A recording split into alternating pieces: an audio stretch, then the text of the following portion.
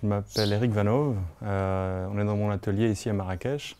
C'est un atelier qui a été établi il y a à peu près 8 mois maintenant.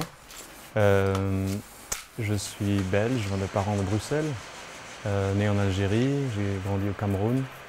et je suis venu au Maghreb pour faire ce, ce projet de moteur. C'est un projet qui a duré 9 mois. Il a commencé environ au début 2012 j'ai beaucoup travaillé dans le monde à beaucoup d'endroits et je suis revenu ici, pas très loin de l'endroit où je suis né, pour faire ça. Euh, j'avais, euh, ça a commencé cette aventure euh, à Dakar quand j'étais là-bas en 2005, je crois. Pour, je, vivais avec les, des, des, forgerons en périphérie de la ville de Dakar et je voyais des moteurs arriver, donc ces vieux moteurs de taxi qui ont conduit, ils conduisent 300 km en Europe et puis ils viennent en Afrique, euh, dans toutes les années 90, c'était le cas en tout cas. Et euh, ils conduisent encore un millier de kilomètres et puis ils sont vraiment trop fatigués. Et donc ces forgerons les, les, les récupéraient, les fondaient et en tiraient de l'aluminium qu'ils euh, recyclaient après pour en faire avec une technique de, de à même le sol de, de moulage. ils en tiraient des, des, des, des casseroles, des cuillères, des choses comme ça. Et euh, j'ai vu donc ces moteurs se transformer en cuillère. Euh, ça m'a posé beaucoup de questions, ça m'a habité longtemps, euh, essentiellement pour toutes ces histoires qui étaient dans ces moteurs et tout ce que cette matériau, tout ce que cette matière avait accumulé d'expérience et de, et, de voir tout d'un coup que sa forme changeant, elle pouvait éventuellement conserver une partie de cet héritage. Et puis j'ai croisé dans les dix dernières années énormément d'artisans dans le monde, donc en Afrique, en Asie, partout, euh, qui c'est pas tellement que leur technique m'impressionnait en, soi, mais c'est qu'ils avaient une. C'était un peu la grand-mère de l'industrie. Euh, leurs gestes et la façon, euh, c'est un peu cette débrouille. Euh, finalement, était une sorte de, catalyseur de tout, ce, tout qu'il y a, en fait, de l'entièreté de la sémiologie et du sens de l'histoire, que telle personne travaille tel matériau et telle technique. Euh, dans tel pays, souvent, est soit le résultat euh, d'une guerre qui a eu lieu quelque part, qui a chassé des populations ailleurs, qui tout d'un coup se retrouvent à devoir se démerder sur place et trouvent tel matériau qui n'est pas trop loin de celui qu'ils connaissaient à la maison, alors le transforme. A des échanges, il y en a qui, se créent tout seuls par le besoin, etc. Et je me suis à ce moment-là dit peut-être faire un moteur euh, pour être une très belle chose, parce qu'un moteur, moi je ne suis pas du tout dans la mécanique, même si mon père ingénieur a toujours voulu que je m'y intéresse. Ça n'a jamais été le cas. Mais c'est plus, plus la force poétique d'un moteur qui m'a intéressé, à savoir beaucoup, beaucoup de parties très différentes qui doivent s'assembler les unes aux autres parfaitement en vue d'avancer. Euh, et donc cette métaphore poétique est ce qui m'a inspiré, et ce qui m'a poussé. Euh, et j'ai simplement voulu joindre les deux. Euh, il y a un intérêt dans mon travail pour d'artiste pour ce qui est le sacré. on produit beaucoup d'objets aujourd'hui, beaucoup de situations.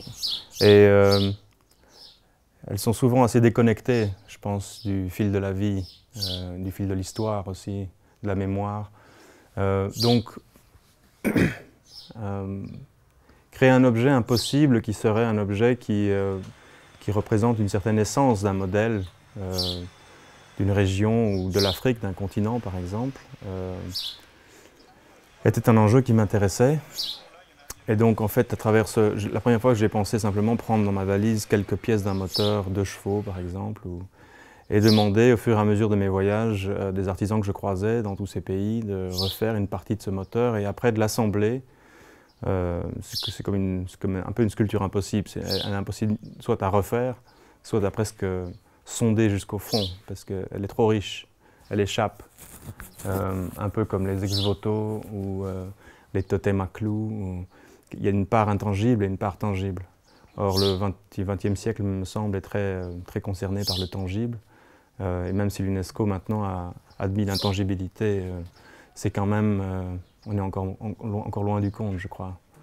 Donc, d'où l'idée de ce moteur. Alors, si j'ai pris un V12 Mercedes ici au Maroc, si ce projet, disons, a tourné autour d'un moteur V12 Mercedes, c'est parce qu'un homme qui s'appelle Abdelsam Laraki, un, designer industriel à Casablanca, 2002, a décidé de, faire la première voiture 100% marocaine super sport. Je pense que son objectif était de montrer ce que l'industrie contemporaine marocaine savait faire. mais en même temps, il fait partie de l'élite. Jusque-là, il faisait des yachts pour le Qatar. Et donc, ce type de, fasciné, j'imagine, de grosses bagnoles, a décidé de prendre une, euh, un moteur V12 Mercedes pour faire cette voiture. Donc il l'a fini effectivement 100% ici, dans ses ateliers à Casablanca, mais le moteur, il n'a pas pu le faire ici. Et en même temps, qu'est-ce qu'une voiture super sport sans son moteur? C'est avant tout un moteur à lequel on met des roues. Donc finalement, je trouvais le propos beau, c'est des enjeux qui sont à travers tout ce continent très importants, à la fois post-coloniaux, mais aussi de pouvoir montrer ce qu'on sait faire, d'avoir une place dans la modernité, et donc, euh, je me suis dit, voilà, c'est ce moteur-là qu'il faut. C'est-à-dire ce qu'une que, ce qu'une certaine euh, classe sociale et un certain modèle, une certaine idée de ce modèle n'a pas pu réussir à faire, à savoir ce V12 Mercedes. Enfin, il a fallu prendre un V12 Mercedes, pas un V12 euh, local. Je pense que je, me suis dit que, puisque le, Maroc a 3 millions d'artisans, c'est-à-dire 20%, 20 de la population active fait partie de cette industrie aussi, et tout aussi contemporaine que les autres, a priori, ce n'est que le dogme qui, est, la cause du fait qu'on ne le croit pas. Donc ça a l'air périphéral. Et donc je me suis dit, je pense que ces hommes peuvent relever le défi euh, de faire un V12 Mercedes avec l'artisanat. Et les questions sont donc assez importantes derrière. Enfin voilà, donc on a, on a travaillé pendant neuf mois, il a fallu trouver ces artisans. Le moteur, j'ai été le chercher à Riga dans une euh, S600 qui s'était crachée sur un arbre. Donc je l'ai ramené ici. On l'a démonté près de la mosquée avec un, mécanicien local qui n'avait jamais vu que des lignes forts, donc des, moteurs en ligne 4, des taxis ici. Et, euh, et, on a à peu près 180 artisans qui sont passés par le projet. Euh, il fallait des hommes et des femmes qui, qui avaient envie de se dépasser qui étaient non seulement des maîtres, mais qui avaient un certain amour aussi en eux, qui permettait que euh, un projet aussi euh, absurde finalement euh, les, emballe. et donc, à la fin, 57 artisans sont restés sur ce projet. et neuf mois plus tard, à, 15 personnes pendant deux mois, on a, on a réussi à réassembler le tout, que vous voyez là, qui sera à Lima. On a leurs noms qui sont gravés à la base du moteur, ciselés dans l'argent. C'est important aussi, c'est-à-dire c'était pas juste une question de venir produire pas cher au Maroc, quelque chose euh, comme ça se fait beaucoup, je pense, dans le monde de l'art contemporain. Ici, c'est important pour moi que ces artisans sont des créateurs de plein droit et qui... Je ne suis pas venu produire pas cher, donc j'ai décidé d'aligner leur salaire sur la fonction publique marocaine, euh, qui est donc en phase avec ce qui se passe ici et la situation socio-économique du pays. Euh, et de les inclure dans toutes les pièces qui sortent de cet atelier, euh, portent leur nom en arabe. Euh, donc on co-signe, si vous voulez, les pièces. Sur les 57 qui ont travaillé sur ce moteur, euh, à peu près 7 mois, dans les 9 mois de la production, je me suis rendu compte que je m'étais transformé, beaucoup accompli aussi, j'avais trouvé énormément de choses. et pour la première fois, à peu près 15 à 20 ans de travail, tant qu'artiste, j'avais, euh, je tournais une page, je concluais un chapitre. C'est-à-dire, je me suis euh, très largement dispersé dans le monde, j'ai travaillé dans presque 100 pays, et euh, c'était une phase depuis la mort de mon grand-père il y a trois ans. j'ai senti ce besoin de concrétiser les choses. Donc j'étais très nomadique jusque-là, très dispersé supposément, en tout cas de, de l'extérieur, peut-être ce qui apparaissait. Mais euh, j'avais besoin en fait de disperser chacune de mes cellules dans, toutes les, tous les recoins de, cette planète pour sentir, parce que je pensais, euh, j'avais cette certitude que cette planète était mon canevas, si on veut. Ce n'était pas une question locale, ça ne pouvait être que les deux à la fois. Et donc localement, j'ai petit à petit dispersé mes cellules dans le monde, et puis après 15 ans, c'était maintenant le moment de rassembler. Cette œuvre est la première euh, étape de ça. et donc c'était... c'est pour ça que ça a pris neuf mois aussi. Et donc de cet accouchement, nous sommes sortis très solidaires. Euh, et les huit artisans principaux qui ont travaillé sur cette œuvre, sont, euh, je les ai appelés après. Je suis revenu, donc j'ai déplacé mon atelier de Bruxelles jusqu'à Marrakech. Et euh, je me suis mis pas trop loin d'eux, histoire qu'ils puissent tous venir ici à Mobilette. Et on a fondé cet endroit. Donc il y a Mohamed là-bas derrière, qui travaille, qui travaille à Los. La plupart des origines de l'artisanat au Maroc sont juives. Euh, et euh, donc, par exemple, on travaillait beaucoup la corne ici avant. Euh, quand les Juifs sont partis à l'ouverture d'Israël, beaucoup d'artisans marocains ou de Marocains simplement ont pris ces parts de marché laissées vides et ont essayé, de, avec les matériaux qu'ils connaissaient ou avec lesquels ils avaient déjà quelques affinités, de prendre. Donc l'os, par exemple, remplace en, grande partie la corne, on va dire. C'est devenu comme ça. Donc Mohamed travaille ça. C'est lui qui a fait toutes les pièces en os de ce moteur. Je me souviens de notre première rencontre, il, faisait des, petites courbes sur le bord des, le bord des cadres euh, des petites décorations comme ça en deux dimensions. Euh, c'est-à-dire, sept mois après, il a sorti les arbres à cam de ce moteur, qui sont des pièces techniques euh, des axiales très compliquées. il y en a deux, elles sont, elles sont dissymétriques. Alors, ça lui a pris un mois pour en faire une, et donc c'était la pièce à peu près la plus compliquée que je pouvais lui donner après. Donc, quand c'était fini, il m'a dit, mais je veux encore plus compliqué. J'ai mais dans un V12 Mercedes, il n'y a pas plus compliqué. Donc, euh, donc voilà, c'est aussi en réponse à ça que l'atelier est fondé maintenant et qu'on essaye d'abord dans cette première phase de, tester nos limites techniques, de voir jusqu'où on peut aller en, mélangeant les matériaux. C'est un, enjeu aussi qui est social, je pense, au sein de ce pays et de ce continent c'est en travaillant ensemble qu'on arrive à des choses plus grandes. Une mosquée n'est pas construite avec un seul, un seul, artisan ni un seul matériau. Il en faut beaucoup pour réussir à le faire. Euh, donc euh, voilà, alors euh, l'atelier aussi, je pense le, pilier de cet atelier c'est Abdelkader qui est là-bas derrière parce qu'il est, c'est lui qui a fait le bloc moteur. Il s'est auto-labellé lui-même le, le, père de la mère des pièces parce que c'est sur sa pièce à lui que toutes les autres devaient se greffer. Et c'est grâce à lui que cet atelier existe aussi, euh, atelier que par ailleurs je considère être son porte-voix à lui, parce qu'il est d'une humilité euh, populaire extrêmement belle. Il travaille depuis qu'il a 14 ans, il a fait tous les corps de métier qui existent au Maroc, à peu près, et néanmoins j'ai trouvé au fond d'un garage près des montagnes de l'Orica, euh, tandis que si je vais en ville et que je croise un agent du ministère de l'Artisanat, dans ses babouches qui me raconte un tas de trucs, on sent bien qu'il y a un énorme décalage. Euh, et j'avais envie que cette voix humble porte. Et c'est la voix du moteur. Euh, voilà, donc après, euh, ben, je pense, ouais, je vous invite à discuter avec chacun d'entre eux pour leurs origines, la façon dont ils s'inscrivent dans tout ça et leur point de vue là-dessus. Ce n'est que le début, je pense. Maintenant, on va travailler sur un moteur. On va essayer de Moi, j'ai rien de particulier autour des moteurs. C'est juste que je trouve que, de nouveau, poétiquement, ça, corrobore très bien mes propos. Euh, et donc, euh, tout le monde, euh, quand on a montré ce moteur ici durant la Biennale de Marrakech à la banque Jamaefna, c'était assez impressionnant parce qu'on est près de cette place qui est énorme. Quand on a ouvert les portes et que cette masse s'est engouffrée dans l'exposition, la, première pièce qu'il y avait, c'était celle-là. Et donc, des gens me disaient, mais est-ce que c'est pas dangereux? Est-ce qu'ils vont pas tout arracher? Enfin, C'est vrai qu'il y avait un peu une panique. Donc, mais euh, la foule est rentrée là-dedans, a embrassé cet objet. Il y avait des vieilles dames qu'on n'avait jamais vues qui venaient l'embrasser. On essayait des enfants dessus. Euh, les gens retiraient des morceaux pour voir comment c'était fait.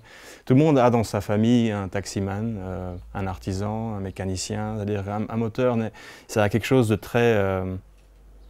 c'est un peu l'alphabet de la modernité, la mécanique. Donc je, suis content de travailler avec ces... Parce que moi-même, je découvre des tas de choses, mais... Et j'aimerais pousser plus loin, donc j'aimerais travailler sur un moteur qui tourne, peut-être un moteur électrique euh, ou hybride, euh, hybridifié dans deux sens. Enfin, voilà, je vais travailler sur d'autres projets comme ça.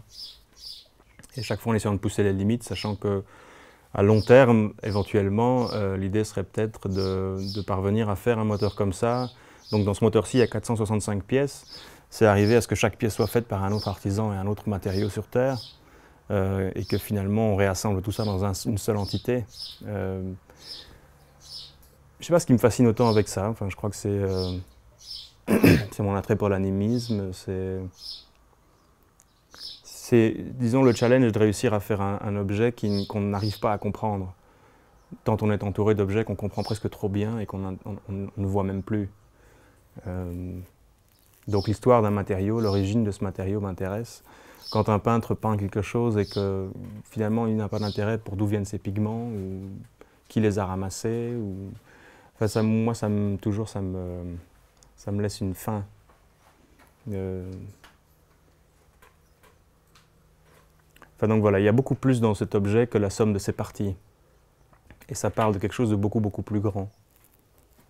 Il a fallu beaucoup d'espoir, de, douleur aussi, de souffrance pour arriver à sortir cet objet. Et donc il est sacralisé pour ça. On a mis dans. Euh, L'admission ici, on a dans du velours vert des morceaux de musk qui viennent du Pakistan. Donc c'est cette odeur qui, euh, qui se mélange à celle du bois de cèdre, mais qui est l'odeur qu'on a dans les mosquées. C'est une odeur sacrée en islam. Euh, je pense que c'était très clair à Jama Efna quand la foule est rentrée. Il y a, quelque chose qui s'empare des gens. Je me souviens quand je suis parti, la première fois que j'ai amené ce moteur en Europe, j'ai traversé la frontière.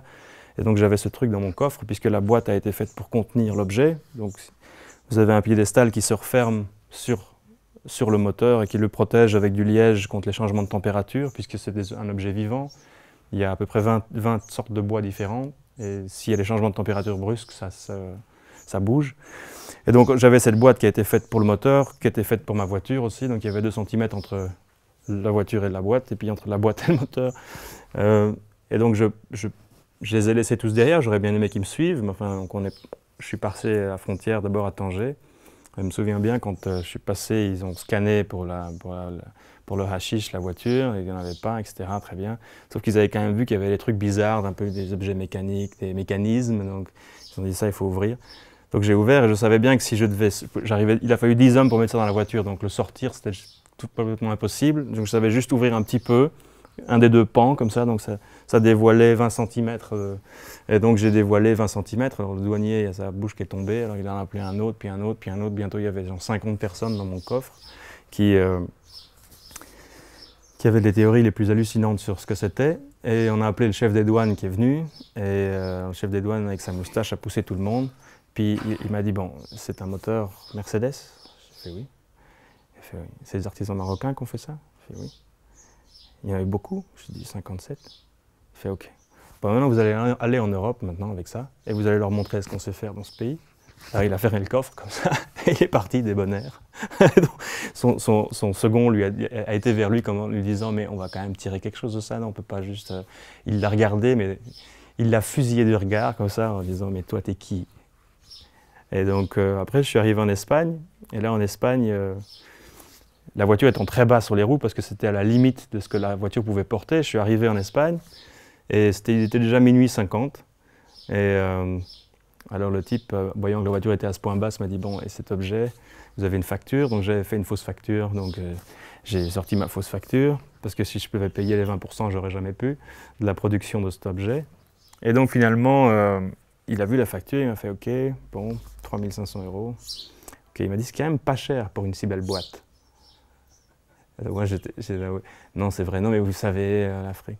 Bon, finalement, j'ai payé mes 20% sur mes 3005 pour la boîte. Heureusement qu'il ne l'a jamais ouverte. enfin voilà, des, euh, cet objet génère des histoires. Mais ce que je voulais dire, c'est que quand je suis monté, je me suis juste dit, si je passe pas ces douanes, c'est, l'objet qui ne souhaite pas sortir. Je me sentais complètement, et comme chacun de nous ici, je pense, euh, disons, le dévot de cet objet qui nous dépassait complètement. Donc, euh, et, c'est ça qui est fort, je crois. Et cet, atelier n'existerait pas si cet objet n'avait pas été précurseur de cet endroit.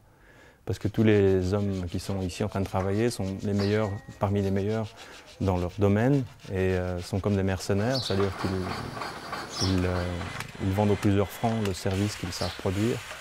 et c'est la survie aussi le fait euh, d'avoir pu les réunir ici n'est uniquement dû qu'au ciment que cet objet euh, permet. C'est-à-dire, c'est ce c'est le liant. C'est le fait qu'on ait pu faire ça dans les neuf mois, parce qu'au début, on a beaucoup rigolé en disant c'est fou, comment vous allez, pensez que vous allez pouvoir faire ça? Finalement, euh, c'est un objet d'intelligence collective et en ça, c'est très beau.